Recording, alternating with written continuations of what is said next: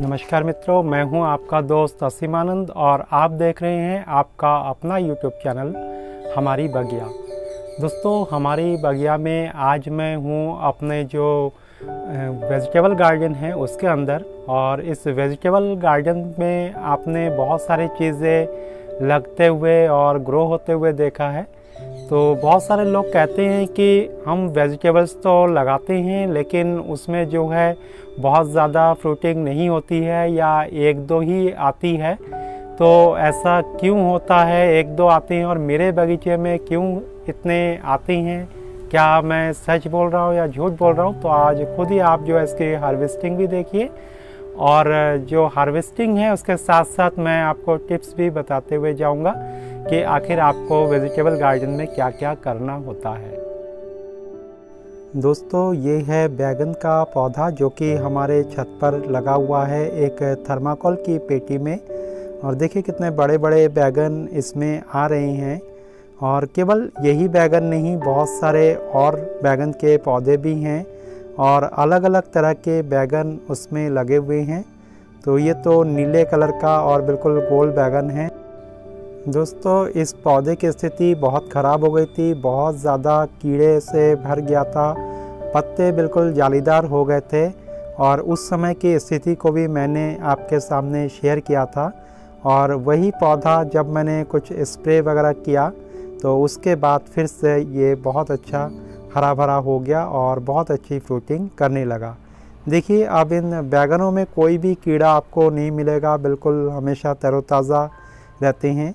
तो जब कीड़ों का अटैक हुआ था तो मैंने जो है, एक तो जो ज़्यादा जो कीड़े लगे हुए पत्ते थे तो उन पत्तों को मैंने कैचे के हेल्प से हटा दिया था और उसमें स्प्रे कर दिया था। दो तीन दिन बाद बाद मैं स्प्रे करता रहा और उसके बाद धीरे धीरे ये कीड़े साफ़ होते गए। दोस्तों, ये देखिए, जो ग्रीन कलर का बैगन है, जो कि इसी साल का ही पौधा है और मुश्किल से अभी दो महीने हुए होंगे इस पौधे को लगाए हुए। तो उसमें से भी कितने सारे वेजिटेबल्स निकल रहे हैं और खाने में बहुत ही स्वादिष्ट है और कहीं भी कोई कीड़े इसमें भी इस समय नहीं है। दोस्तों, मैं जो है पत्तों पर हमेशा ध्यान देता हूँ। पत्ते कहीं अगर पीले पड़ने लगे, कहीं छेद छेद होने लगे या मुड़ जाए तो ऐसे पत्तों को तुरंत मैं कैंची से काट करके निकाल देता हूँ, क्योंकि इसी में ही कीड़ों का अटैक सबसे ज़्यादा होता है। और उसके बाद जो है मैं उसमें स्प्रे भी कर देता हूँ। यहाँ पर देखिए, जो स्वार्ड बीन है, वो हो रही है। तो फलियाँ देखिए कितनी मोटी मोटी है इसमें और बहुत अच्छी सब्ज़ी इसके भी बनती है। तो इसका साइज़ तो और भी दोस्तों बड़ा होता है, बिल्कुल स्वार्ड यानी कि तलवार की तरह होता है। लेकिन अगर मैं इतना बड़ा इसको करूँगा तो फिर ये हो जाएगा कि खाने में इतना स्वाद इतना अच्छा नहीं रहेगा और फलियाँ भी कम होंगी। तो इससे अच्छा है कि इस समय इसको तोड़ा जाए और इससे इसकी जो सब्जियों का स्वाद है, वो भी काफ़ी अच्छा लगता है। तो देखिए कितने सारे जो फलियाँ हैं, वो मैं यहाँ से निकाल रहा हूँ। और दोस्तों, इस, ये जो पौधे हैं, बहुत पहले के नहीं हैं, ढाई महीने या कोई तीन महीने मुश्किल से मुश्किल है। तो इतने दिनों में ही लगे हुए हैं। और इस तरह के बेलदार सब्ज़ी अगर आप लगाते हैं तो काफ़ी लॉन्ग टाइम तक चलता है। ख़ासतौर से ये जो मैंने सेम लगाया है तो ये भी काफ़ी टाइम तक चलने वाला है। तो लगातार इससे हमें जो है फ्रूटिंग मिलती रहती है। या जो बैगन का पौधा है वो भी लगाना बहुत आसान होता है। तो उसको आप लगा सकते हैं। कोशिश कीजिए कि छत पर ऐसे पौधे लगाएँ जो कि ज़्यादा टाइम तक फ्रूटिंग देते रहें, क्योंकि हमारे पास जगह सीमित होती है और उसी में हमें सब्ज़ियाँ लेनी होती है। अगर हम मूली, गाजर वगैरह लगाते हैं तो उसके लिए पर्याप्त कंटेनर हमारे पास होने चाहिए। तभी लगाना ठीक रहता है, क्योंकि ऐसे सब्ज़ियाँ एक बार में ही ख़त्म हो जाती है। दोस्तों सब्ज़ी आप लगाए तो सब्जियों वाले पौधों के लिए जो टब है, बड़े टब का चुनाव करें और ख़ास तौर से जो बेल वाली सब्ज़ियाँ होती हैं तो उसके लिए बड़े टब की बहुत ज़रूरत होती है। तो यहाँ तो मैंने जो है थर्माकोल की जो पेटी है, वो ली है और काफ़ी बड़ी पेटी ये होती है, लगभग डेढ़ बाई दो फिट के लगभग ये पेटी होती है। और हाइट भी अच्छी खासी इसमें होती है। एक फिट के लगभग लगभग हाइट भी इसमें होती है। तो इसमें मैंने इनको लगा दिया था। और कभी भी आप अगर इन पौधों को लगाएँ तो बहुत ज़्यादा बेल वाले पौधे ना लगाए। एक पेटी में या एक इस तरह के गमले में, बड़े गमले में एक दो आप जो बेल वाले पौधे हैं, वही रहने दें। दोस्तों, अगर आप ज़्यादा पौधे लगा देंगे तो इससे एनर्जी बहुत ज़्यादा चाहिए होती है पौधों को और उतनी एनर्जी उस थोड़े से मिट्टी में से पौधे को मिल नहीं पाती, जिस कारण से पौधों में फ्रूटिंग जो है एक दो ही हो पाती है। प्रॉपर धूप की ज़रूरत होती है, निराई गुड़ाई हमेशा करते रहें। पौधों की साफ़ सफ़ाई पर विशेष ध्यान देना बहुत ज़रूरी है। दोस्तों, जो मिर्च है, देखिए मैं तोड़ रहा हूँ और यहाँ कई तरह के मिर्च है। ये तो ग्रीन कलर के मिर्च है तो ग्रीन और ब्लैक दोनों तरीके के ही मिर्च जो है पौधे में आ रही हैं। मिर्ची में दोस्तों, जो पत्ते सिकुड़ने की बीमारी है, ये बहुत जल्दी आ जाती है और बरसात में ये कॉमन भी होती है। तो मिर्ची के पौधों में एक तो आप हमेशा स्प्रे शुरुआत से ही करते रहें। अगर आपने नीम ऑयल का भी स्प्रे रेगुलर रखा तो इस तरह की बीमारियाँ नहीं आएँगी। और अगर आपको लग रहा है कि बीमारियाँ आ रही हैं तो जो पत्ते अभी अभी सिकुड़ना शुरू कर रहे हैं तो उन पत्तों को आप कैंची से कट कर दें और साथ ही साथ कोई ना कोई उसमें स्प्रे भी करें। जब भी बीमारियों का अटैक हो तो स्प्रे को दो से तीन दिन के बाद कुछ दिन के लिए करें। जब आप तीन चार बार इस तरह से स्प्रे कर लें तो उसके बाद आप स्प्रे को 10-12 दिन में एक बार कर सकते हैं।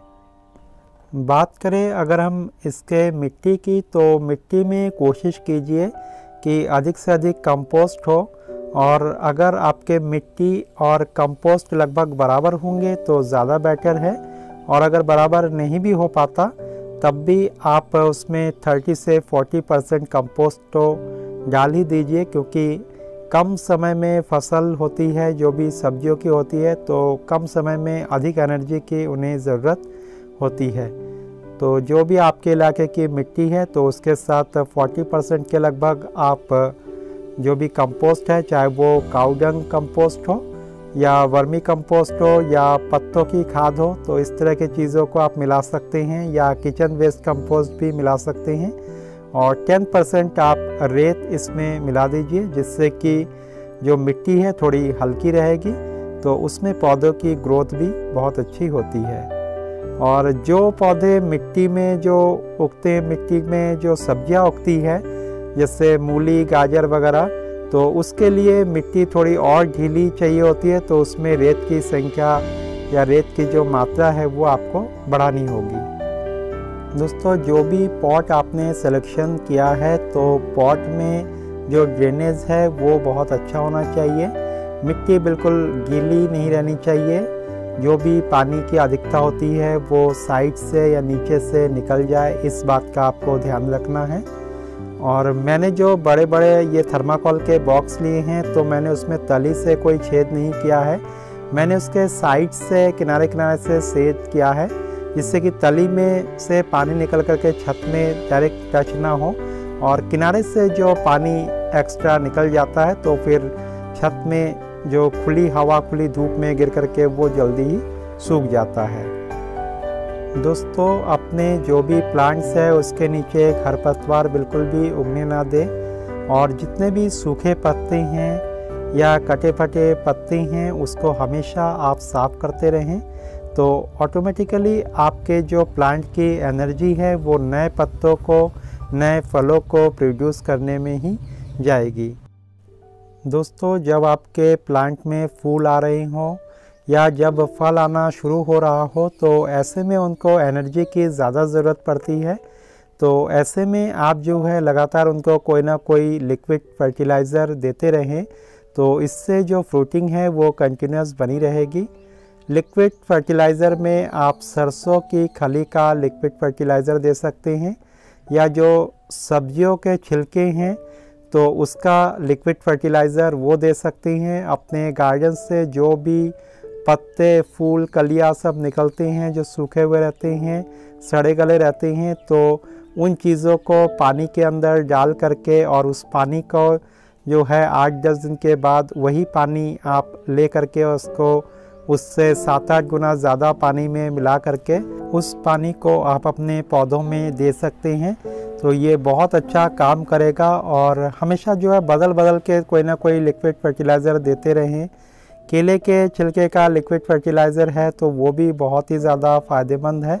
तो इन सब का यूज़ आप करते रहेंगे तो आपकी जो फ्रूटिंग है वो भी काफ़ी अच्छी होगी। उम्मीद है दोस्तों, आज जो भी जानकारी मैंने हार्वेस्टिंग के साथ साथ दी है, आपको अच्छी लगी होगी। वीडियो अच्छा लगे तो चैनल को ज़रूर से सब्सक्राइब कर लीजिएगा और साथ ही जो भी चैनल में बातें बताई गई हैं तो उनको भी अपने गार्डन में ज़रूर यूज़ कीजिएगा। वीडियो को अंत तक देखने के लिए आप सबका धन्यवाद।